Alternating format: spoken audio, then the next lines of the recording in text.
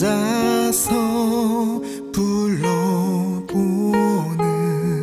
가슴 아픈 그 이름.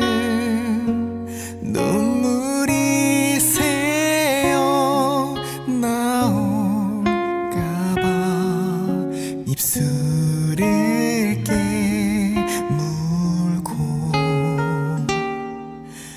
또다시